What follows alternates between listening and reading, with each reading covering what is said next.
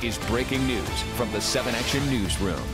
That breaking news, 7 Action News has learned former Lions running back Mel Farr has died. He was 70 years old. We do not have any details though surrounding his death tonight. Farr stayed involved with the Lions alumni program as recently as last season. He also made a name for himself in his second career as a car dealership owner and was known for the slogan Mel Farr Superstar. We'll continue to follow this breaking story and bring you any and all new developments as soon as we get them here on the air and, of course, on WXYZ.com.